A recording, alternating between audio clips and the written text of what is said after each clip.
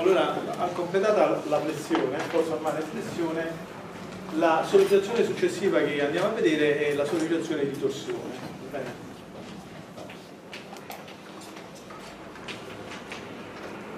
La sollecitazione di torsione è caratterizzata dal fatto che eh, sulla base Aconelle abbiamo che eh, lo sforzo normale è 0, la forza di taglio è 0, il vettore momento flettente è 0 e invece la componente mt, il momento risultante sulla base Aconelle, è una quantità diciamo diversa da 0. Bene, è, è la sollecitazione agente. Va bene? Eh, quindi noi siamo sostanzialmente in questo caso qui, in cui schematicamente, se questa è la nostra trave, la trave è sollecitata da una coppia torcente MT così sulla base agonella e ovviamente opposta sulla base sulla base ago 0 va bene? Eh? la sollecitazione di torsione è una sollecitazione eh, sostanzialmente di questo tipo se questa è la trave noi stiamo torcendo la trave in questo modo ok? Ci siamo?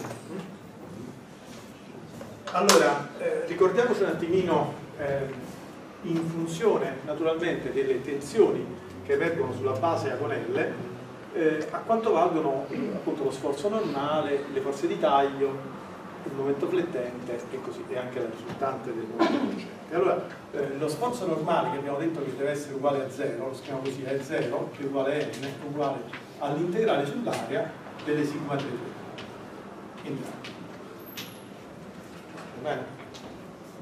eh, la forza di taglio, anche questa abbiamo detto deve essere 0, ed è uguale all'integrale sull'area di eh, delle componenti, diciamo così, sigma 1,3 e sigma 2,3 del tensore delle tensioni reali. Eh? Ok? Eh, poi il momento flettente sappiamo bene che questo deve essere anche uguale a 0 sarà uguale al momento flettente facciamo così, prendiamo come al solito quello ortogonale che è più comodo bene? E questo è uguale all'integrale sull'area di eh, x con 1 sigma 3 3 e meno, eh, no, aspettate, com'era? Eh, è meno x con 1 x con 1 sì, perché abbiamo messo l'ortogonale secondo due secondi ok? Eh? abbiamo visto il momento ortogonale e poi abbiamo che invece il momento torcente deve essere appunto, immaginiamo sia diverso da 0 e sarà uguale all'integrale sull'area di che cosa? di x con 1 sigma 2 3 meno x con 2 sigma 1 3 in vero Bene.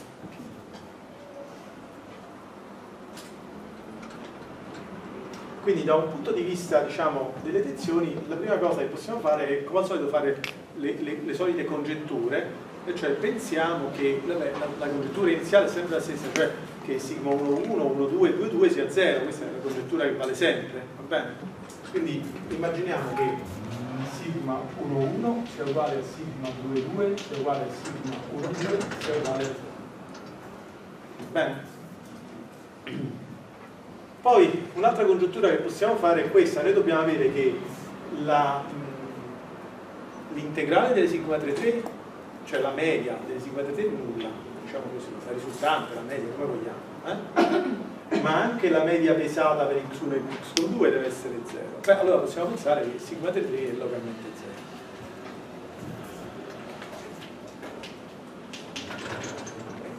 0. Ok? Per quanto riguarda le sigma 1, 3 e 2, 3, ovviamente da una parte abbiamo l'indizio che qua la loro media è nulla, cioè la risultante è nulla, ma dall'altra parte se fosse nulla non, verrebbe neanche il momento torcente, quindi non può, non posso, queste non possono essere 0 quindi ci dobbiamo aspettare la presenza di sigma 1,3 e sigma 2,3 perché qualora fossero 0 va bene che andiamo a soddisfare questa condizione ma qualora fossero 0 ovviamente ci dovremmo che anche il momento torcente sarebbe 0 non c'è niente va bene quindi quindi ci dobbiamo aspettare invece che le sigma 2,3 e le sigma 1,3 eh, siano delle quantità in generale diverse da 0 Bene. Ok, per continuare la nostra analisi, eh, cerchiamo di capire da un punto di vista cinematico come possiamo immaginare che si sta deformando questa, questa trave quando è soggetta a torsione. Allora, immaginiamo di stare nella generica sezione di questa trave. No? Siamo nella generica sezione della trave, è soggetta a questo momento torcente e ci immaginiamo che la generica sezione, per effetto della presenza di questo momento torcente, subisca una rotazione diciamo, intorno all'asse x con 3 bene? e possa essere magari una rotazione di tipo proprio veramente rigido. Bene? È una rotazione che naturalmente ci immaginiamo possa essere infinitesima nell'ambito eh, del fatto che noi abbiamo sempre pensato che le deformazioni, gli spostamenti sono sempre infinitesimi, sempre molto piccoli. Per cui possiamo pensare che ehm, la, il campo degli spostamenti possa essere scritto in questo modo, eh? e cioè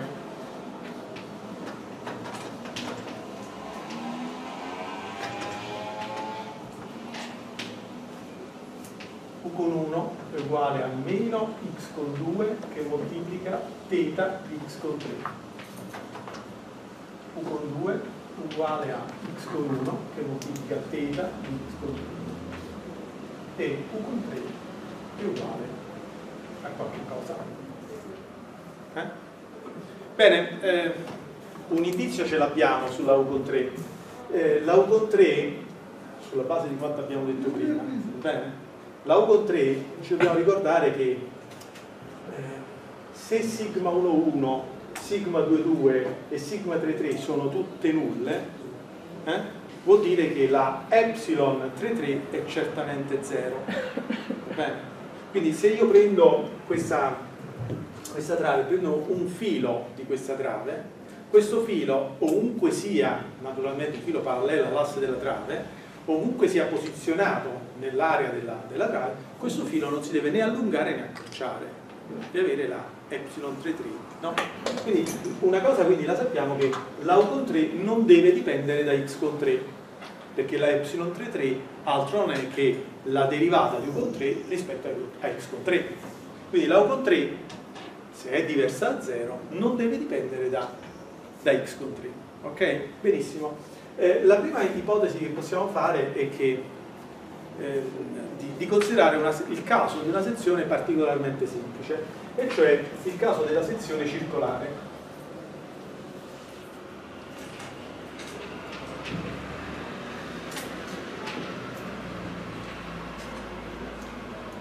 Va bene?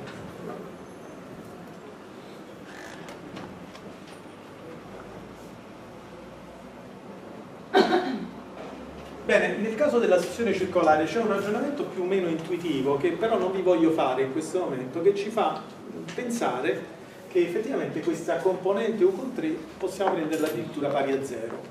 Va bene? Noi non lo vogliamo fare in questo momento questo ragionamento intuitivo, va bene? Lo, lo tralasciamo, però facciamo così. Pensiamo alla sezione circolare e prendiamo come campo di spostamento un campo di spostamento che prevede che U con 3 sia pari esattamente a 0 va bene? Poi naturalmente vedremo se riusciamo a soddisfare tutte le equazioni. Se soddisfiamo come al solito tutte le equazioni vuol dire che quella è soluzione, no?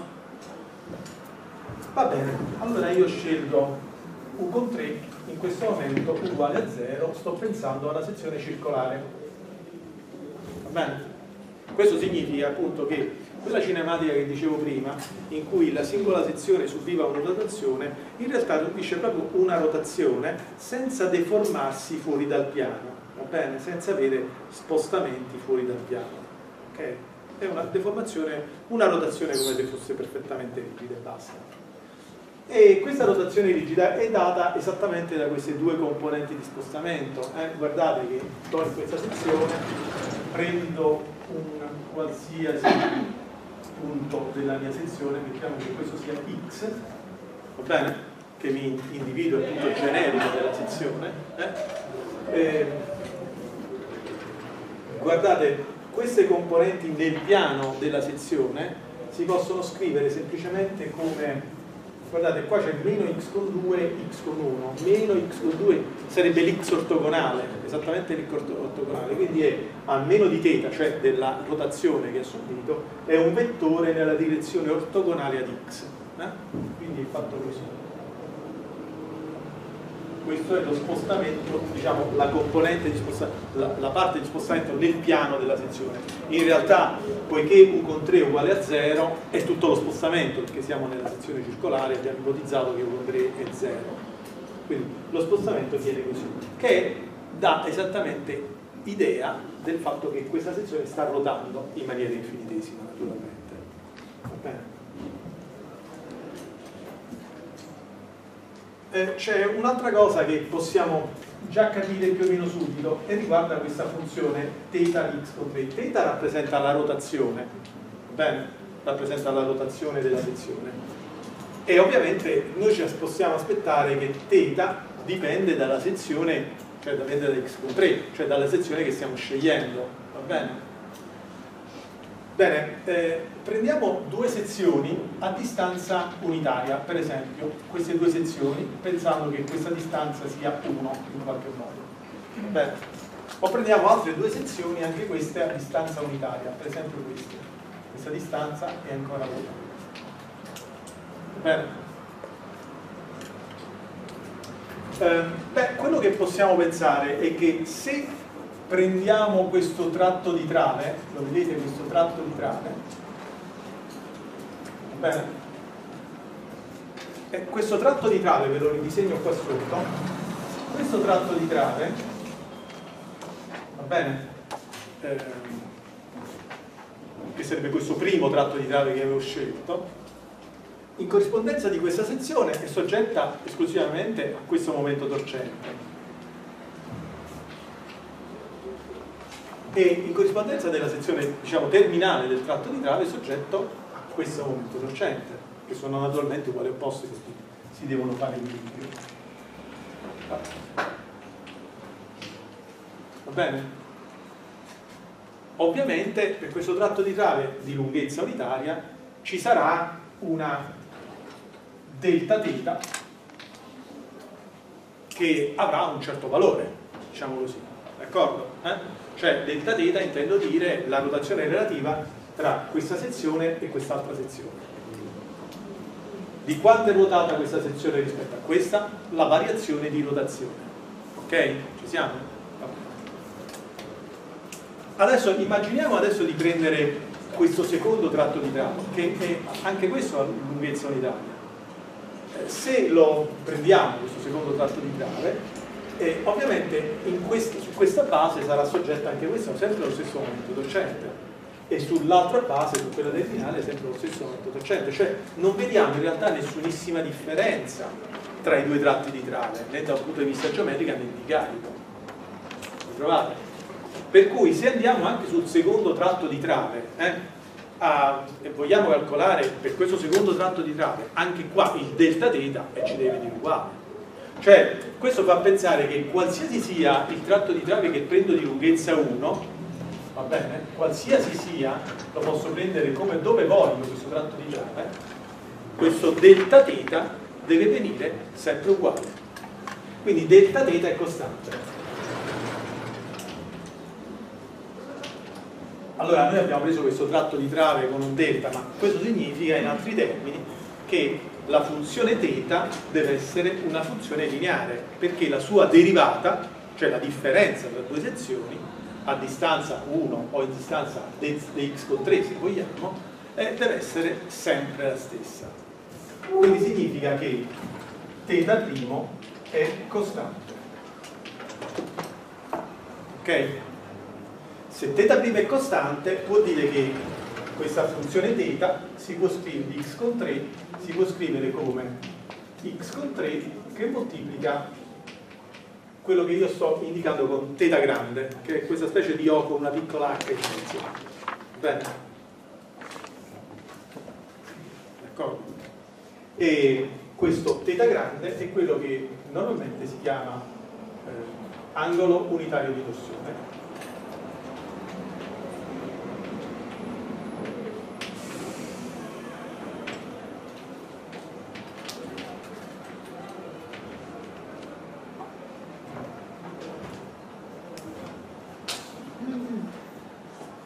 in definitiva allora vuol dire che il campo degli spostamenti lo possiamo scrivere in questo modo u con 1 è uguale a meno x con 2 per x con 3 per θ grande. u con 2 è uguale a meno, eh, scusate, è uguale a più x con 1 per x con 3 per θ grande e u con 3 è uguale a 0.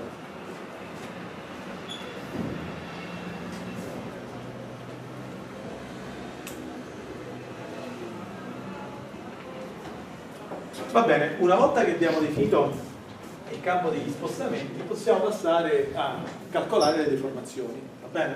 Allora, le deformazioni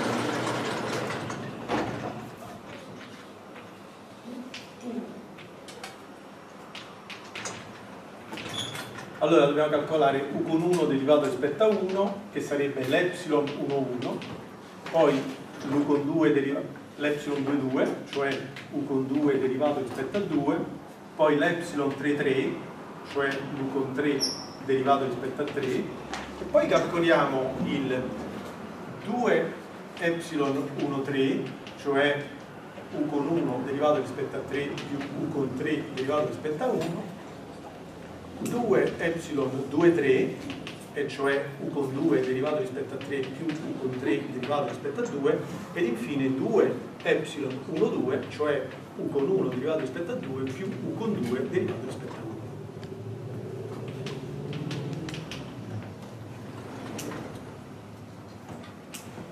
Ci siete?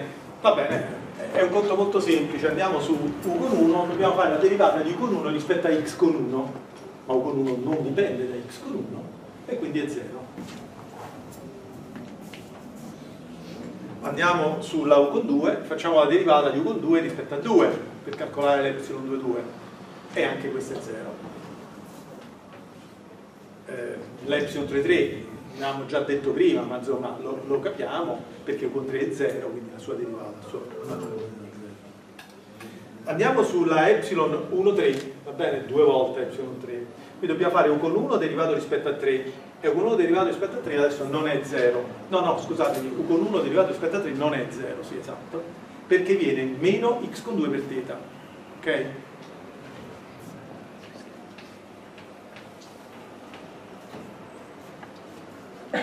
e poi dobbiamo fare u con 3 derivato rispetto a 1 ma u con 3 è 0 quindi niente ancora adesso dobbiamo fare u con 2 derivato rispetto a 3 e u con 2, ecco là l'espressione, ovviamente derivando rispetto a 3 non è 0, ma verrà x con 1 per θ.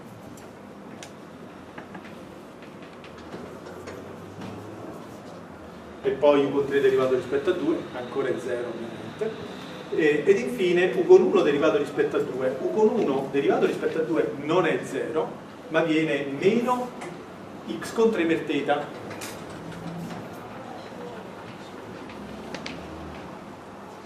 E poi dobbiamo sommarci u con 2 derivato rispetto a 1 e u con 2 derivato rispetto a 1 viene x con 3 per θ.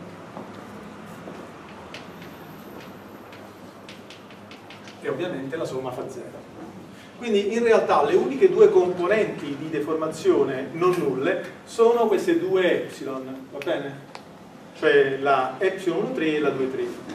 Eh, questa è due volte epsilon 3, due volte eh, rappresenta, lo sappiamo, degli scorrimenti angolari e questi per comodità li, li chiamiamo gamma 1 e gamma 2 in maniera tale da poter definire un vettore gamma che appunto ha componenti gamma 1, gamma 2, che eh, altro non è che, scusate, vedete, le due componenti sono meno x con 2 e x con 1, e quindi poi c'è θ naturalmente, meno x con 2 e x con 1 sarebbe l'x ortogonale.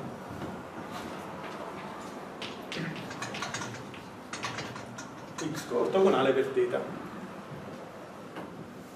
Bene.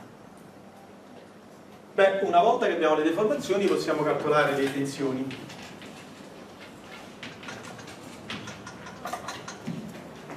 E le tensioni, aspettate, facciamo così.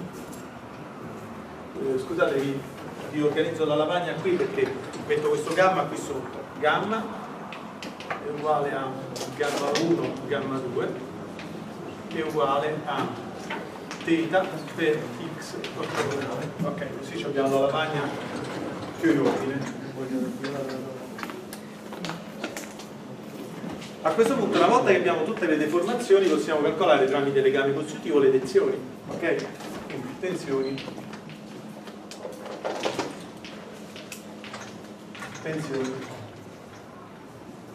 E avremo che sigma 11 eh, ovviamente dipende da y1, y22 e y33, sono tutte 0 quindi viene 0, ma poi lo sapevamo, era la nostra congettura iniziale che sigma 11 doveva essere 0 sigma 2,2 ovviamente dipende da 1,1, 2,2 3 viene 0 e sigma 3,3 è 0 e ovviamente anche la sigma 1,2 viene 0 perché la gamma 1,2 è 0 quindi abbiamo che sigma 1,1 è uguale a sigma 2,2 è uguale a sigma 3,3 è uguale a sigma 1,2 è uguale a 0 che era quello che avevamo in qualche modo congetturato dall'inizio. Bene le uniche tensioni che ci sono divenute diverse da 0 sono quelle che volevamo eccole qua e quindi abbiamo sigma 1 3 che è uguale a basta moltiplicare per, basta moltiplicare per il modulo G no? la, epsilon, la gamma 1 la, due volte epsilon 3 e quindi abbiamo è uguale a meno G θ per x con 2 e sigma 2 3 2 3 è uguale a g θ per x 2 queste due tensioni anche si possono organizzare in un vettore, un vettore le cui componenti sono tau 1 e tau 2 perché tau ci ricorda le tensioni tangenziali. Bene. E questo vettore appunto tau di componenti tau 1 tau 2 altro non è che gθ per x ortogonale, cioè è la gamma moltiplicato G semplicemente e G volte gamma ok? questo vettore di tensione differenziale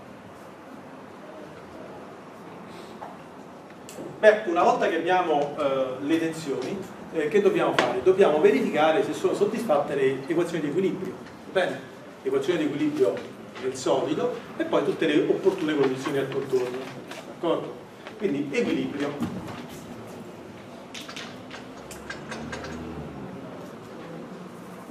La metto qua sotto così occupo meno spazio.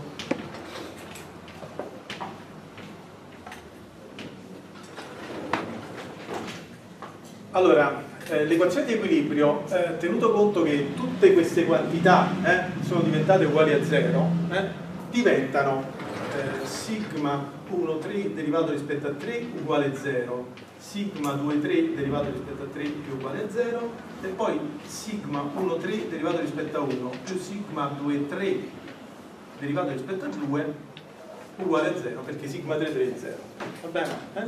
diventano così queste sono le equazioni della divergenza di sigma vi ricordate? Eh? adesso abbiamo che 1, 1, 1, 2, 2, 2, 3, 3 sono tutti 0 ok? allora insomma è molto facile verificare queste equazioni. Vediamo.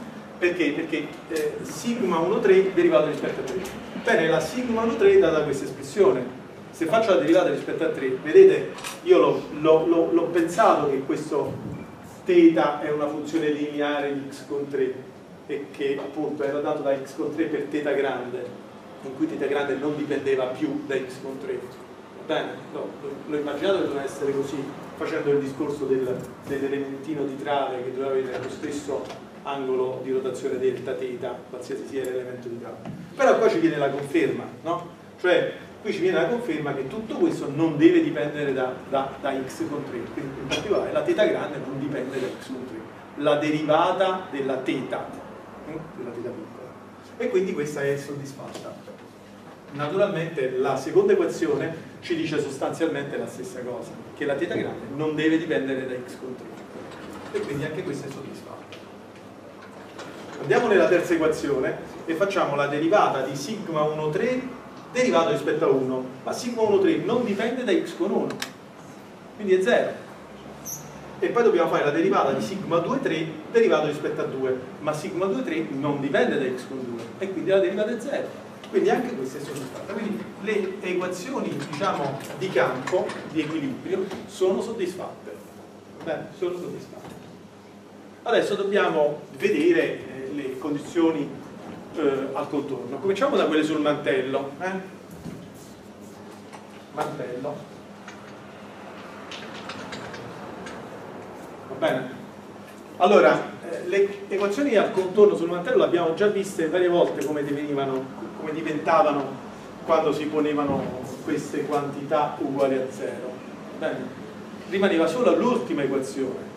Eh? E l'ultima equazione ci diceva questo, sigma 1,3 n1 più sigma 2,3 n2 è uguale a 0, ovviamente sul mantello, cioè su dA, cioè la frontiera della geometria. Bene, ci siamo? In altri termini, se volete, possiamo fare un disegnino. Questa è la sezione, va bene? Sto sul mantello, quindi prendo un punto che sta sul mantello, va bene? Eh? Prendo la normale al mantello, questa è la normale al mantello, n, ok? E ho la tensione tangenziale, che è questo vettore qui, che ha queste due componenti, che sono esattamente sigma 3 e sigma 2,3. Bene, quello che vi dice questa equazione è che deve accadere che due, questi due vettori, tau ed n, devono essere tra di loro ortogonali. Cioè questa equazione si può scrivere, diciamo, come tau scalare n uguale a 0. È ovviamente la stessa cosa. Bene? Perché tau è il vettore di componente tau 1, tau 2, cioè sigma 1, 3, sigma 2, 3, n ovviamente è un vettore n1 e n2. E, beh, è facile vedere che questa condizione è soddisfatta, perché? Perché nel caso della sezione circolare la n altro non è che la x diviso la sua norma. Vedete? È la x. Questo è x, va bene? Diviso la sua norma. D'accordo? Eh? E poiché la tau è uguale a gθ per x ortogonale, eh? ovviamente abbiamo tau, che sarebbe gθ x ortogonale, ho scritto tau, va bene?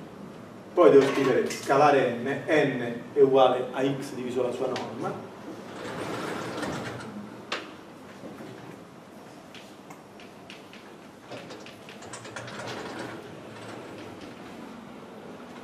ed ovviamente x ortogonale per x, eh, essendo due vettori fra di loro ortogonali, hanno prodotto scalare nullo. E quindi questa condizione è soddisfatta. Quindi anche questa condizione possiamo scrivere ok, è soddisfatta.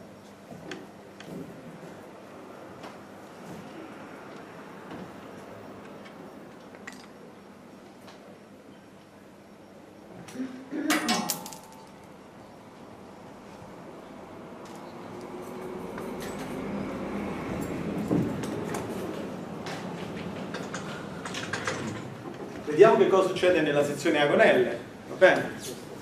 La condizione, diciamo, eh, eh, di azione sulla base terminale laterale, deve accadere che n sia uguale a 0. Ma n è l'integrale di sigma 3 sta scritto qua, ma le sigma 3 sono tutte nulle. E quindi questa sicuramente è soddisfatta. Scusatemi, questa la scrivo qui, questa è ok, è già soddisfatta. Eh? Perché sigma 3 è 0 dappertutto. Bene. E l'altra che è soddisfatta è automaticamente anche questa, quindi anche questa è ok, è automaticamente soddisfatta. Adesso dobbiamo verificare che anche V sia uguale a 0, va bene? E poi dobbiamo imporre eh, che il momento risultante delle tensioni sia uguale al momento torcente che abbiamo applicato noi nella sezione. Chiaro? Quindi dobbiamo verificare che anche questa sia soddisfatta. È semplice, anche questa è semplice. È semplice. Per esempio, io prendo pi con 1 che è l'integrale su A delle sigma 1,3 in dA. Va bene? Ma le sigma 1,3 sono date da questa espressione qua, vedete? Quindi è uguale a meno g theta integrale sull'area di x con 2 dA. E ovviamente l'integrale sull'area dell'x con 2 ed A non è altro che il momento statico. E ovviamente nel sistema di riferimento abbiamo scelto è baricentrico è 0 e quindi è 0 d con 2 subisce esattamente la stessa fine perché facciamo l'integrale sull'area del sigma 2 3 in dA e questo è uguale all'integrale di g θ g θ integrale facciamo così di x con 1 dA e ovviamente 0 quindi anche queste sono soddisfatte eh? anche questa condizione qua ci possiamo mettere un ok e soddisfatto va bene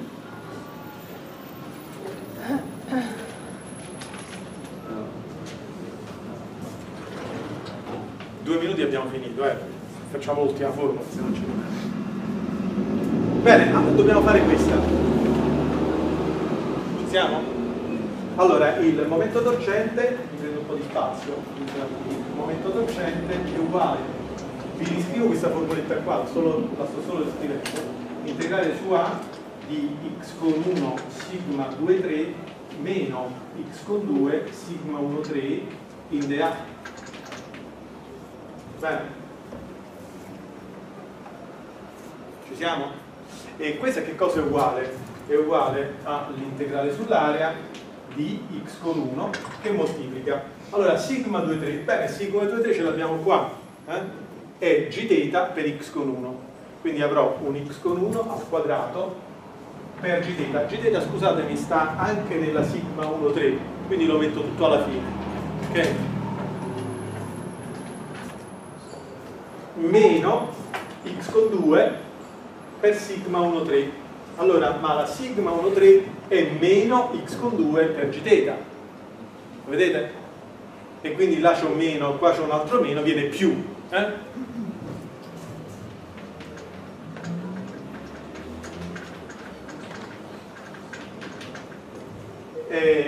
X con 1 quadro più x con 2 quadro integrato sull'area tutto quanto moltiplicato gθ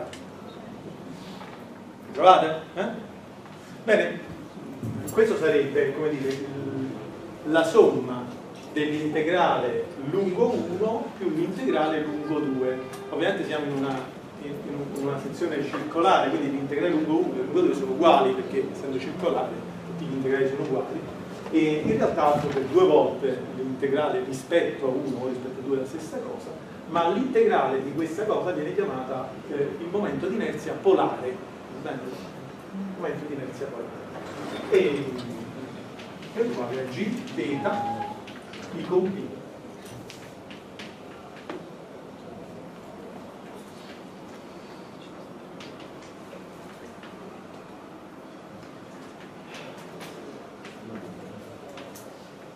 questo è il momento di inerzia polare allora ricordatevi, il momento torcente è il dato esterno che stiamo assegnando noi, è il valore che noi assegniamo. Bene? L'incognita in questa equazione è la teta, perché G è il modulo elastico a taglio del materiale. Va bene? L'I con P è un fatto puramente geometrico, dipende dal raggio della sezione. Va bene? Quindi da questa equazione potete ricavare teta